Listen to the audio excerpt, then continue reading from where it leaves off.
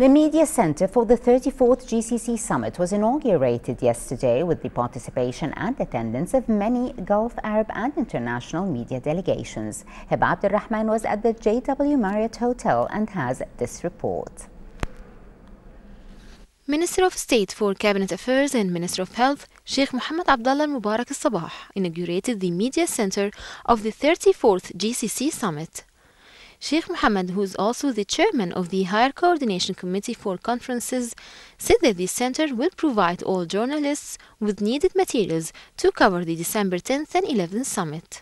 Honestly, uh, the fact that Kuwait uh, is now hosting the 34th uh, summit of uh, GCC uh, Gulf Cooperation Council heads uh, Uh, is not something uh, we are unaccustomed to. Uh, a few weeks ago, we had the honor of hosting the Arab African Summit.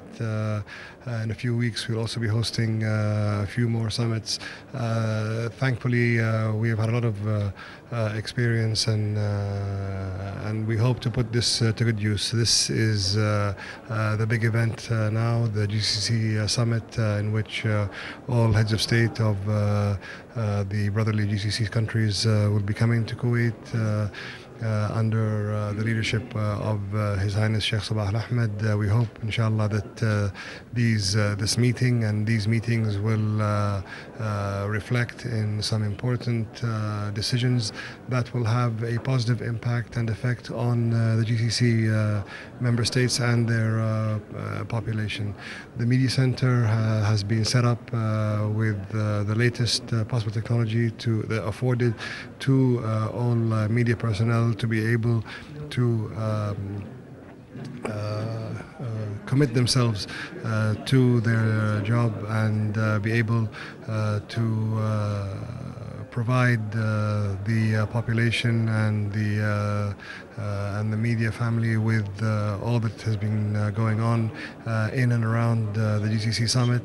we hope that we prov provided them with what is required, and we hope that they will have they, they, work in a in an atmosphere that allows them to uh, pursue uh, uh, the information in a way uh, that uh, can be provided uh, well to all listeners and, and viewers. So all we can say is we hope everyone here has a good stay in Kuwait and that the summit will be a success, inshallah.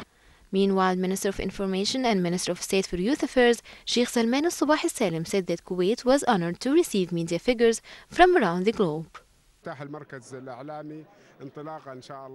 We hope that the opening of the media center would be a good start to the summit that is due on the 10th and the 11th of December for the welfare of the citizens of the region and to boost the work of the GCC.